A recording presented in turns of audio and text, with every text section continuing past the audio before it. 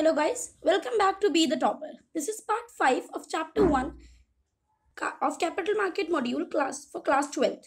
Okay, this हम इस video में हम क्या बात करेंगे कि एनएससी में नेशनल स्टॉक एक्सचेंज में मेंबरशिप लेने का एडमिशन प्रोसीजर क्या होता है और किस तरीके से किन नॉर्म्स को फॉलो किन नॉर्म्स एंड प्रोसीजर्स को फॉलो करके कोई ट्रेडिंग मेंबर अपनी ट्रेडिंग मेंबरशिप को सरेंडर कर सकता है तो these are the topics which we will discuss in the video तो अगर वीडियो को शुरू करने से पहले मैं आप लोगों से रिक्वेस्ट करूँगी कि अगर आपने मेरे चैनल को सब्सक्राइब नहीं किया तो प्लीज़ उसे सब्सक्राइब कर लीजिए क्योंकि मैं पूरा कैपिटल मार्केट मॉड्यूल आपको पढ़ाने वाली हूँ सो so दैट आपको आसानी हो आपके पास नोटिफिकेशन जल्दी से आ जाए। ओके okay, तो वीडियो को शुरू करते हैं। तो जैसे कि आपको स्क्रीन पर दिख रहा होगा कि आज हम पढ़ने वाले हैं सबसे पहले हम पढ़ेंगे admission procedure for new membership तो इसको मैं थोड़ा सा जूम करूँगी ताकि आपको बहुत अच्छे से दिख जाए ये। आइए अब इसको समझते हैं। कि एडमिशन प्रोसीजर कैसे कैसे मेंबरशिप मिलती है। तो सबसे पहले कोई भी member who is desirous of taking the membership of national stock exchange तो वो क्या करेगा? He will submit his his और her application to the membership department membership department of national stock exchange को सबसे पहले इंडिविजुअल अपनी एप्लीकेशन सबमिट करेगा। उसके बाद जो मेंबरशिप डिपार्टमेंट है वो उस एप्लीकेशन को फॉरवर्ड करेगा MRC MRC is membership recommendation committee जो कि रिकमेंड करती है कि किस मेंबर को मेंबरशिप uh, मिलेगी किस इंडिविजुअल को किसको नहीं मिलेगी। ओके okay, तो इन्होंने रिकमेंड कर दिया। अभी आगे बढ़ेंगे एमएससी ये क्या करेंगे? एमएससी को फॉरवर्ड कर देंगे। MSC is membership approval committee board जो कि क्या करेगी? देखेगी और उसके बाद वो बताएगी कि अप्रूवल उसको मिला मिला या नहीं मिला। जब अगर अप्रूवल मान लो कि मिल गया तो वो क्या करेगा? उसको अप्रूवल बताएगा कि मैं मेंबरशिप डिपार्टमेंट को अप्रूवल दे देगा कि इस बंदे को मेंबरशिप का ऑफ़र जो प्रोविजनल मेंबरशिप है, वो मिल जाएगी। तो अब वो क्या करेगा? अब जो मेंबरशिप डिपार्टमेंट है, वो इंडिविजुअल को ऑफ़र ऑफ़र लेटर मतलब ऑफ़र क्या करेगा? कि लेटर और प्रोविजनल मेंबरशिप प्रोविजनल मेंबरशिप का लेटर उसको ऑफ़र करा जाएगा मेंबरशिप के द्वारा किसको? मेंबर को who is desirous of taking the membership of national stock exchange उसके बाद जो मेंबरशिप डिपार्टमेंट है, वो मेंबरशिप डिपार्टमेंट क्या करेगा कि वो सेबी को documents forwarded to SEBI for registration SEBI को डॉक्यूमेंट्स को फॉरवर्ड करेगा रजिस्ट्रेशन के लिए। फिर सेबी देखेगी कि उसको मिलना चाहिए या ना मिल जा, मिलना चाहिए, वो सब चेक करेगी डॉक्यूमेंट्स को, उसने चेक कर लिया। अगर उसको लगता है कि हाँ मेंबरशिप मिल सकती है तो क्या होगा? कि जो सेबी है वो सर्टिफिकेट दे देगी मेंबरशिप डिपार्टमेंट को कि ये तुम उसको मेंबर को दे दो। तो अब एट एट जो प्रोसेस है उसमें क्या होगा? एट पॉइंट में जो मेंबरशिप डिपार्टमेंट है वो जो इंडिविजुअल है उसको क्या फॉरवर्ड करेगा? Forward SEBI certificate to member मतलब मेंबरशिप डिपार्टमेंट इंडिविजुअल को सेबी का सर्टिफिकेट दे देगा। अब क्या है कि इंडिविजुअल को सेबी का certificate of being a member उसको मिल गया ठीक है। नाइन्थ में क्या है? कि अब अब देखो, उसको मिल गया। अब नाइन्थ में जो मेंबर है मेंबर है, वो क्या करेगा कि वो अपने जो एनेबलमेंट डॉक्यूमेंट है, वो सबमिट करेगा किसको? मेंबरशिप डिपार्टमेंट को। सो so दैट कि उसको ट्रेडिंग का एक्सेस मिल जाए। तो अब मेंबरशिप डिपार्टमेंट ने एनेबलमेंट डॉक्यूमेंट देख ली। अब वो उसको अप्रूव अप्रूवल देंगे। और क्या होगा? Member enabled on the trading system ये जो दिख रहा है आपको टेंथ पॉइंट है ये, कि जो मेंबर है, वो इस ट्रेडिंग सिस्टम पे वो उसको एक्सेस मिल गया। अब वो क्या कर सकता है? अब वो ट्रेडिंग कर सकता है। सिंपल है, समझ में आ गया। इसको एक बार फिर रिवाइज कर लेते हैं कि सबसे पहले इंडिविजुअल अपनी एप्लीकेशन को मेंबरशिप डिपार्टमेंट को सबमिट करता है। दूसरा पॉइंट मेंबरशिप डिपार्टमेंट उसको MRC that is membership recommendation committee को फॉरवर्ड करता है। उसके बाद मेंबरशिप रिकमेंडेशन कमेटी उसको मेंबरशिप अप्रूवल कमेटी के पास फॉरवर्ड करती है। Fourth point is membership approval committee that is M A C वो क्या करता है? वो अप्रूवल देता है मेंबरशिप डिपार्टमेंट को फोर्थ पॉइंट में। ओके फिफ्थ पॉइंट में क्या होता है, जो मेंबरशिप डिपार्टमेंट है, वो इंडिविजुअल को लेटर या फिर प्रोविजनल मेंबरशिप ऑफ़र करेगा। ओके सिक्स पॉइंट इज़ जो मेंबरशिप डिपार्टमेंट है, वो क्या करेगा, जो जो इंडिविजुअल है, उसके डॉक्यूमेंट्स को सेबी तक पहुंचाएगा फॉरवर्ड करेगा। रजिस्ट्रेशन के लिए सेबी सेवन सेबी देखेगा। सेवन पॉइंट में क्या होगा कि सेबी सर्टिफिकेट देगा मेंबरशिप डिपार्टमेंट को कि तुम इसको दे दो इंडिविजुअल को। अब एट पॉइंट में जो मेंबरशिप डिपार्टमेंट है वो क्या करेगा? वो सेबी का सर्टिफिकेट मेंबर तक फॉरवर्ड कर देगा। नाइन्थ पॉइंट इज़ कि जो मेंबर है, वो अपने इनेबलमेंट डॉक्यूमेंट मेंबरशिप डिपार्टमेंट को देगा। एंड टेंथ पॉइंट में member enabled on the trading system उसको इनेबलमेंट मिल जाएगी, उसको ट्रेडिंग एक्सेस मिल जाएगा so that he can trade आगे बढ़ते हैं। आगे ये, हम आगे पढ़ेंगे। सरेंडर ऑफ़ ट्रेडिंग मेंबरशिप कि अब ट्रेडिंग मेंबरशिप पहले तो मिलती कैसे इसको हमने पढ़ लिया। अब जो है, अब हम पढ़ेंगे कि उसको सरेंडर कैसे किया जाए। एक बार ट्रेडिंग मेंबर एक्सचेंज में एडमिट हो जाता है तो उसको वो सरेंडर भी कर सकता है। After fulfilling certain condition by member of the exchange मतलब एक्सचेंज की कुछ कंडीशन होती हैं, उसको अगर आप फुलफिल करता है, अगर वो ट्रेडिंग मेंबर तो वो अपनी मेंबरशिप को सरेंडर कर सकते हैं। तो कौन सी वो सर्टेन कंडीशन होती है, आइए पढ़ लेते हैं। Clearing of all the dues to exchange exchange और एनएससीसीएल के पास उसके अगर कोई ड्यूज आते हैं एक्सचेंज का ड्यू तो हो गया, चलो, अब एनएससीसीएल का क्यों डी क्या ड्यू ड्यू है। तो अगर कोई ट्रेडिंग मेंबरशिप किसी बंदे के पास है, वो ट्रेडिंग मेंबर है, उसने ट्रेड किया, अब उस ट्रेड को क्लियर एंड सेटल भी तो करना है। ऐसे थोड़े कि आप ट्रेड को करके छोड़ दोगे तो आपको सेटल और क्लियर भी करना है। और अगर आपको कोई ट्रेड अगर आपने किया और उसे क्लियर एंड सेटल नहीं किया तब अगर तब अगर आप उस कंडीशन में अगर अपनी मेंबरशिप छोड़ना चाहते हो तो आप नहीं छोड़ सकते बिकॉज़ आपको पहले सारे ड्यूज को क्लियर करना पड़ेगा ओके नेक्स्ट इज़ क्या? कि notifying all other TMs TMs is trading members trading members are stock brokers of of the approval of surrender मतलब कि उनको ट्रेडिंग मेंबर को भी आपको बताना है कि आप सरेंडर कर रहे हो। Third point is issuance of a public notification in leading dailies मतलब कि आपको एक पब्लिक नोटिफिकेशन निकालनी है लीडिंग डेलीज में leading dailies like newspaper magazine etcetera उसमें आपको नोटिफिकेशन निकालनी है। ओके okay, आगे बढ़ते हैं। उसके बाद क्या है? The deposit of the trading members would be release by the exchange NSCCL after prescribed lock in period मतलब कि जो ट्रेडिंग मेंबर है, जब वो ट्रेडिंग मेंबर मेंबरशिप ले रहा होता है तो उसको एक सिक्योरिटी लाइक मनी डिपॉजिट करनी होती है एक्सचेंज या फिर एनएससीसीएल के पास। तो जब ट्रेडिंग मेंबर अपनी मेंबरशिप को सरेंडर करना चाहता है तो एकदम से नहीं मिलता उसको वो security money after a prescribe lock in period ही वो उसको मिलता है। बट ये क्या कह रहा है कि कुछ केसेस में लॉक इन पीरियड अप्लाई नहीं होता। There is how no lock in period applicable in case of trading member who is मतलब कि किन केसेस में नहीं अप्लाई होता, पढ़ते हैं। सबसे पहला क्या स्क्रीन पर आपको दिख रहा है कि जो बंदा है, जो इंडिविजुअल है, वो सेबी रजिस्टर्ड तो हो गया बट वो इनेबल नहीं हुआ। मतलब एट पॉइंट तक जैसे हमने पढ़ा था कि मेंबरशिप डिपार्टमेंट ने सेबी का रजिस्ट्रेशन जो सर्टिफिकेट था वो मेंबर को दिया था इंडिविजुअल को दिया था बट नाइन्थ पॉइंट में तो वो उसको अपनी इनेबलमेंट डॉक्यूमेंट देता है, तभी तो उसको ट्रेडिंग एक्सेस मिलता है। बट अभी जो जो ये ए पॉइंट जो कह रहा है, ये कह रहा है कि सेबी में रजिस्टर्ड तो हो गया वो ट्रेडिंग मेंबर बट उसको ट्रेडिंग का एक्सेस नहीं मिला अभी तक।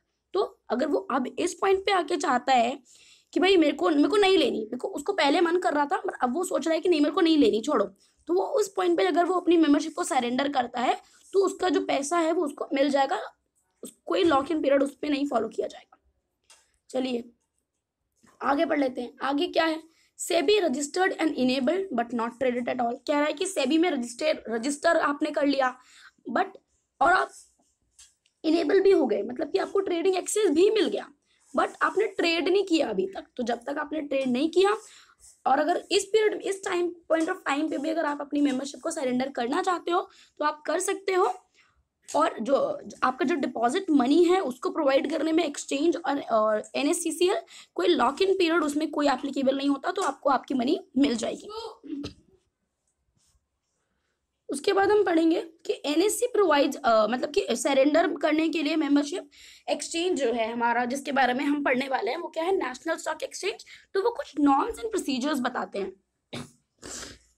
तो वो कौन से नॉर्म्स एंड प्रोसीजर्स होते हैं? आइए देख लेते हैं। Details of the norms and procedures related to the surrender of membership to the exchange are prescribed as below norms and procedure बताएँगे। तो ये क्या बता रहा है? सबसे पहले हम इसे पढ़ लेते हैं। कि कौन से नॉर्म्स एंड प्रोसीजर ऐसे होते हैं जो कि मेंबर को फॉलो करने होते हैं सो so दैट वो अपनी मेंबरशिप को सरेंडर कर दे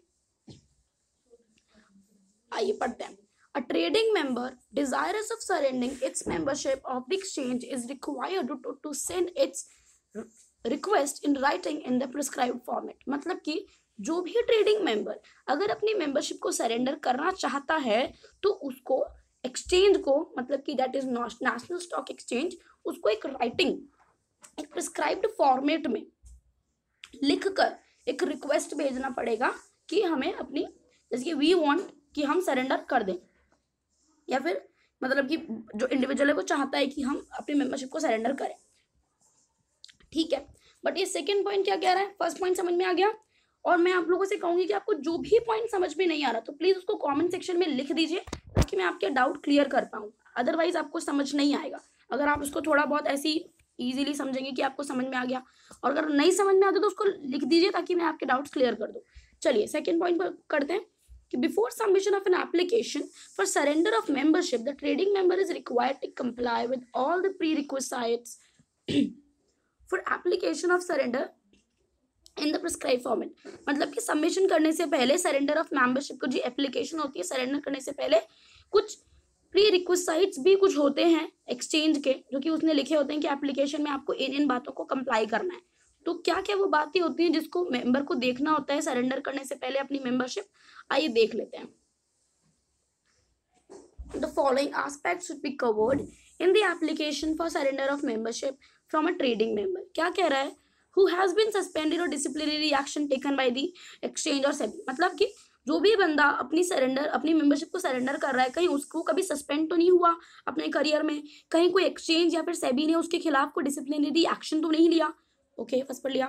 सेकेंड इज़ कि उसके खिलाफ उसके उसके ऊपर कोई इन्वेस्टिगेशन तो नहीं हुई कोई एक्सचेंज से? या फिर किसी से, कोई कोई सेबी ने उसके ऊपर कोई डिफॉल्टर अगर वो कभी डिफ़ॉल्ट किया उसने तो कभी उसके ऊपर इन्वेस्टिगेशन हुई हो? ये सब बातों को कंप्लाई करना होता है मेंबर को। थर्ड इज़ कि वो कैटेगरी ऑफ़ एसोसिएट्स में तो फॉलो फॉलो नहीं करता।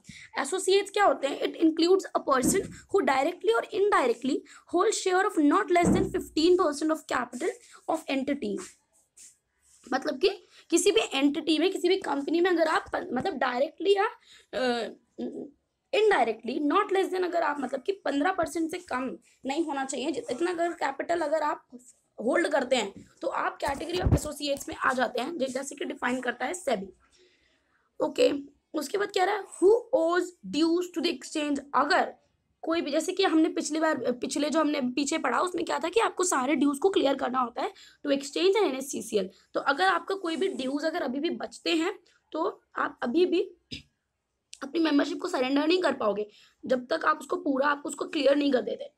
ओके, फोर्थ हो गया। Fifth is against whom claims by investors हाँ मतलब कि कह रहा है कि जिसके मतलब कि अगर किसी इन्वेस्टर ने एक एक ट्रेडिंग मेंबर है जो कि अपनी ट्रेडिंग मेंबरशिप को सरेंडर करना चाहता है। बट उसके ऊपर एक इन्वेस्टर ने दस लाख रुपए या उससे ज़्यादा का क्लेम क्लेम डाल रखा है कि इस बंदे ने भाई मेरा इतना पैसा लिया या फिर कुछ भी कोई क्लेम है अगर उस ट्रेडिंग मेंबर के ऊपर इन्वेस्टर का दस लाख, इसको आपको याद रखना है, ये मैं इसको हाईलाइट करूँगी ऐसे। ठीक है? दस लाख से ज़्यादा कर कोई क्लेम है या फिर किसी भी, जैसे कि कह रखा है, और any claim for any amount अगर आपका कोई भी अमाउंट का claim is pending for a period for more than six months मतलब कि छः महीने से ज़्यादा अगर कोई क्लेम uh, अगर आपका किसी भी अमाउंट का कोई भी अमाउंट हो सकता है वो छोटे से छोटा और बड़ा से बड़ा अगर आपका पेंडिंग है उस इन, इन, जो ट्रेडिंग मेंबर है उस पर छः महीने से ज़्यादा तो भी वो अभी नहीं कर पाएगा अपनी मेंबरशिप को सरेंडर ठीक है? क्योंकि हमें पहले ही पता है कि सब कुछ क्लियर करना होता है ड्यूज को to the exchange to the N S C C L to the investors also okay ये कह रहा है कि against the six point is against whom any other claim complaint is pending मतलब कि कोई किसी सिक्स पॉइंट कह रहा है कि अगर आपके खिलाफ कहीं कोई कंप्लेंट तो पेंडिंग नहीं है, जो कि एक्सचेंज या एन की नज़र में कोई कंप्लेंट हो, अगर आपके खिलाफ अगर वो कंप्लेन पेंडिंग है, अगर उसका कोई रेजोल्यूशन अभी तक नहीं निकाला तो needs to be resolve by the concern trading member जो ट्रेडिंग मेंबर है मतलब कि जो ट्रेडिंग मेंबर सरेंडर कर रहा है, उसी को उस उस कंप्लेन का या फिर उस क्लेम का, इस प्रॉब्लम का सोल्यूशन निकालना था रिजोल्यूशन निकालना था बट अभी उसने नहीं किया तो अभी भी वो अपनी मेंबरशिप को सरेंडर नहीं कर पाएगा। आगे पढ़ते हैं। आगे क्या लिखा है इन्होंने? आगे लिखा है सेवन पॉइंट है। Whose turnover fees liability to SEBI is still outstanding मतलब कि अगर आपकी कोई टर्नओवर फ़ीस की लाइबिलिटी अगर सेबी को अगर आउटस्टैंडिंग है तो तो भी आप अपनी मेंबरशिप को सरेंडर नहीं कर सकते। ये जो हमने जो सात पॉइंट जो पढ़े थे ना ये उस एप्लीकेशन में होते हैं जो एप्लीकेशन मेंबरशिप को सरेंडर करने के लिए होती है।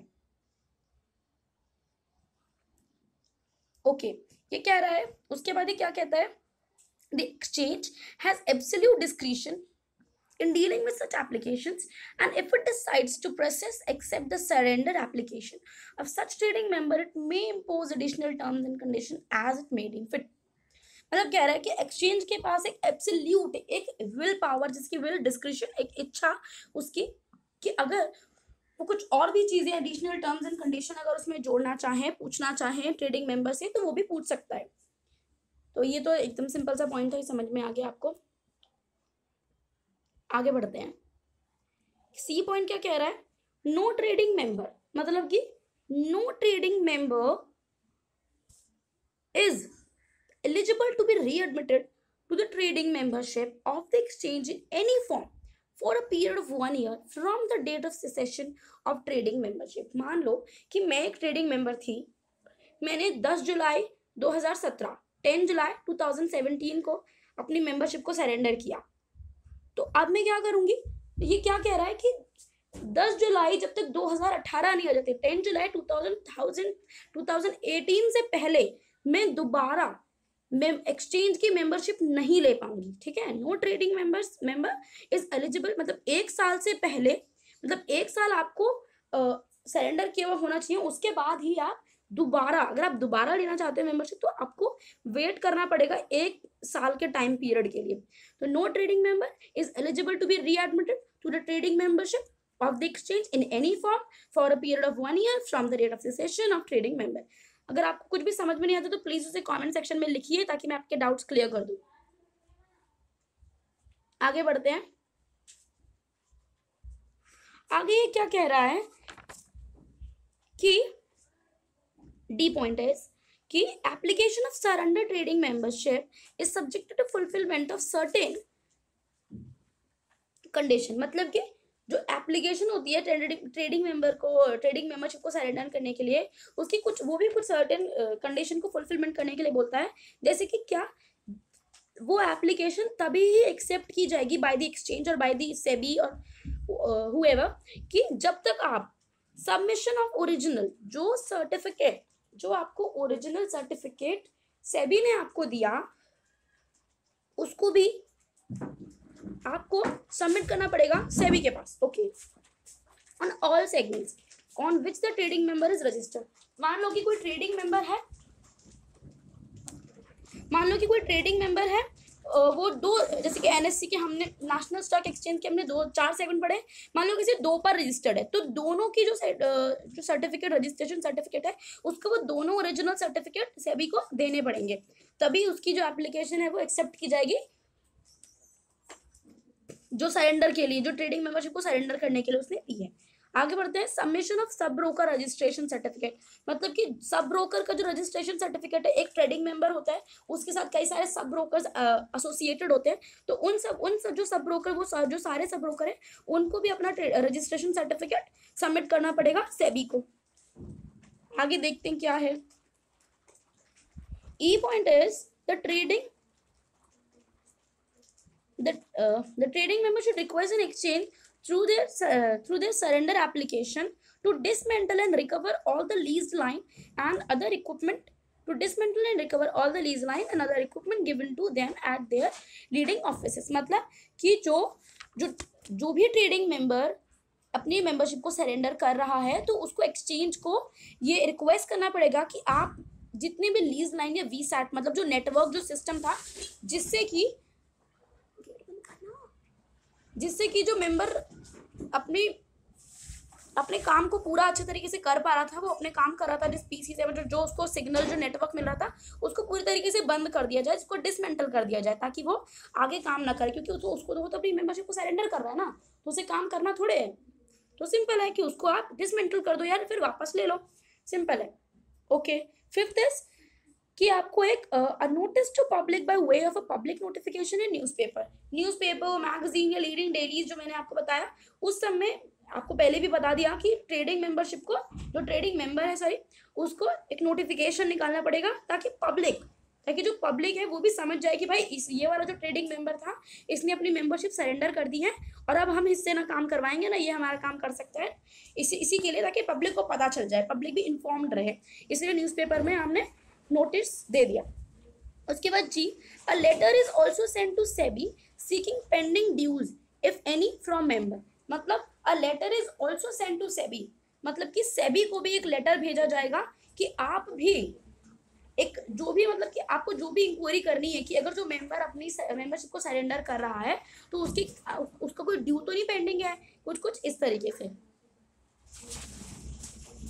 ओके चलिए आगे समझते हैं कि क्या है ये कि ये क्या लिख रहा है ये यहाँ से पढ़ते हैं in case the amount payable exceeds the deposit trading member would be intimated to bring the in the requisite amount within 21 days of intimation upon the failure of member to do so within 21 days of intimation the case shall be referred to the relevant authority for further action अभी समझने आए दोबारा समझते हैं in case the amount payable exceeds the deposit, the trading member would be intimated. मतलब कि जो जो भी ट्रेडिंग मेंबर को, अगर एन को या फिर सेबी को अगर कोई पैसा देना है तो अगर वो ज़्यादा है और जो डिपॉजिट जो कर रहा है ट्रेडिंग मेंबर वो कम है तो उसको क्या किया जाएगा?